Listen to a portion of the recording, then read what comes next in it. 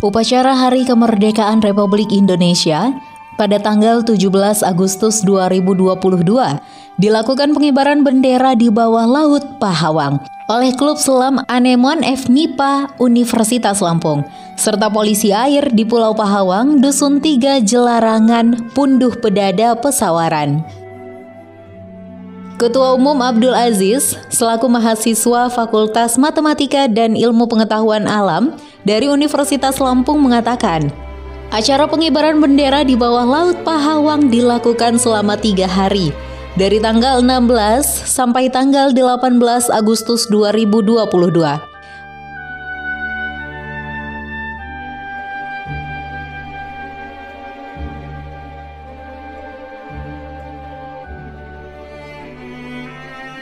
Kami, bangsa Indonesia, dengan ini menyatakan kemerdekaan Indonesia.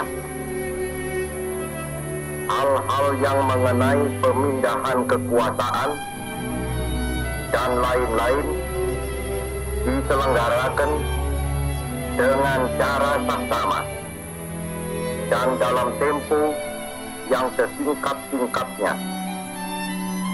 Jakarta, 17 Agustus 1945 atas nama bangsa Indonesia Soekarno Hatta.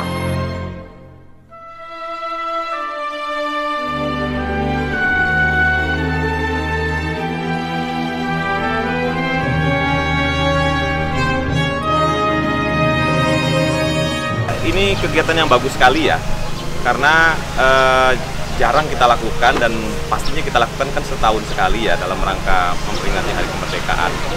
Uh, kita patut dukung ya kegiatan seperti ini yaitu pengibaran bendera dari bawah permukaan laut kemudian nanti kita menyaksikan bendera itu keluar di atas uh, permukaan laut ini sebagai bentuk wujud lain kita merayakan Hari Kemerdekaan Republik Indonesia yang ke-77 tentu kita sebagai anak cucu dari founding fathers ya pendiri negeri ini patut bersyukur, patut berterima kasih ya, kepada para pahlawan yang telah uh, memperjuangkan kemerdekaan ini.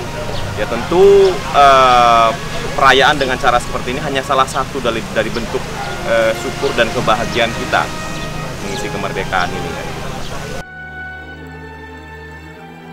Acara pengibaran bendera merah putih di laut sempat tidak terlaksana selama dua tahun lantaran pandemi COVID-19. Acara ini cukup besar, lantaran turut mengundang berbagai mahasiswa dari Pulau Jawa, yakni Universitas Jenderal Sudirman, Universitas Gajah Mada, Universitas Diponegoro, Institut Pertanian Bogor, Institut Teknologi Bandung, dan dari Sumatera ada Universitas Lampung, Universitas Sriwijaya, Universitas Maliku Saleh NAD, Politeknik Negeri Lampung, dan ITERA. Selain dari mahasiswa Klub Anemon, dalam acara tersebut turut hadir dari Polda Lampung yakni Pol Lairut. Setelah sukses mengibarkan bendera merah putih di bawah Laut Pahawang, Klub Anemon akan kembali melakukan penurunan bendera merah putih dan selanjutnya akan melakukan kegiatan transparansi karang di sekitaran Pulau Pahawang.